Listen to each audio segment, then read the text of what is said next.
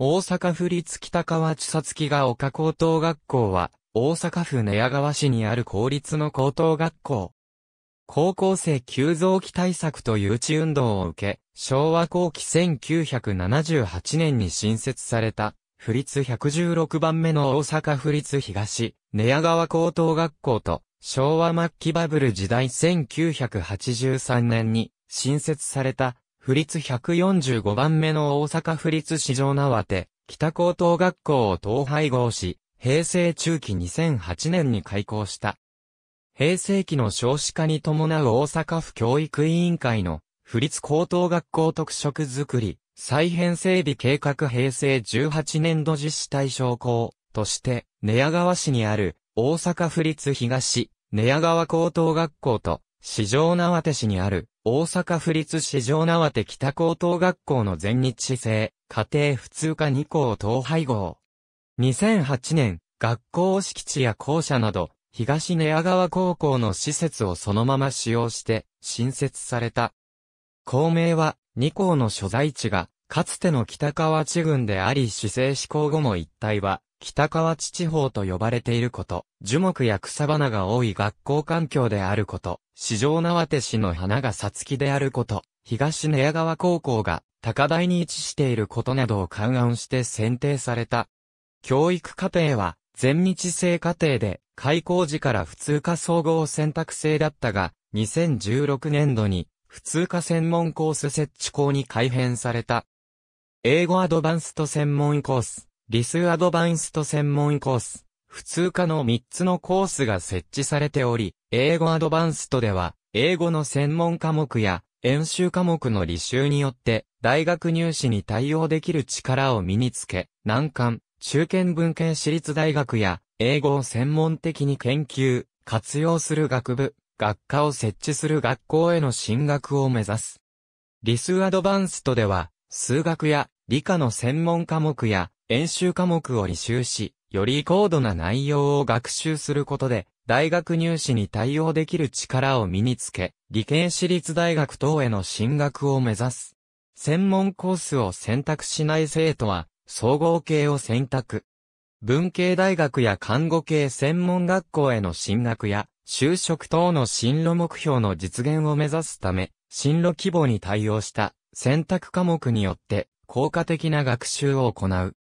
なお、かつての普通科総合選択制では、普通科の教育課程を基礎としながら、人文探求、理数探求、国際探求、教育探求、アート探求、スポーツ探求の6つのエリアにそれぞれ人文科学、自然科学、外国語、国際理解、教育、保育、芸術、スポーツに関する科目が開設され、2年生より各エリアの授業を履修できるようになっていた。前進校の大阪府立東、寝屋川高等学校は、1971年誕生の黒田革新不正が高校入試で15の春は泣かせない政策として大幅に新設した府立高校の一つ。1973年度だけで開校13校が計画され、各自治体が地元誘致運動を進める中、府立116番目として1978年に開校した。もう一つの前進校の市場縄手北高校は、段階ジュニア世代の進学する1980年代の高校生急増期対策で新設された、府立145番目のマンモス校で、ほぼ最後1983年に開校した10校の一つ。国際、総合、体育、理数の4類型を設置し、少人数指導の導入や学校設定科目を多数開講するなど、きめ細やかな学習指導を実施した。また部活動での地元中学校との交流、学校での市民講座の実施など、地域に根ざした取り組みも進めてきた。東、寝屋川、市場縄手北の両校は、平成期の少子化に伴い2006年、大阪府教育委員会の府立高等学校特色づくり、再編整備計画平成18年度実施対象校となり、2008年度より生徒募集を停止。同年に両校を統合した普通科総合選択制の新高校、大阪府立北川千里木が丘高等学校が設置され、東、寝屋川、市場縄手北の両校は在校生の卒業に伴い2010年3月に廃校となった。なお、両校についての記念室が北川千さつきが岡高校に設置されている。その後、北川千さつきが岡高校は2014年、大阪府立高等学校、大阪市立高等学校再編整備計画平成26年度実施対象校として再び改編されることが大阪府教育委員会から発表され、2016年4月1日に普通科専門コース設置校に改編された。所在地は寝屋川市だが、平方市との境目に位置し、最寄り駅は片野市にある星田駅である。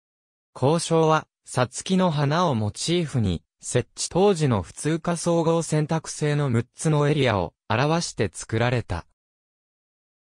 なお、普通科専門コース設置校へ改編後、交渉のデザインについては、生徒たち全員が星のように輝いてほしいという願いを込めて作られたと説明されている。なお東寝屋川高校の交渉は、初代校長の田中貞也によるデザイン案で大地を踏みしめ、頭上に理念をいただき、理想を追求する人間の姿を、不立116番目を示す漢字1、1、6で表現していた。市場縄手北高校の跡地は2010年4月から知的障害者を対象とした大阪府立方の支援学校市場縄手校になっている。ありがとうございます。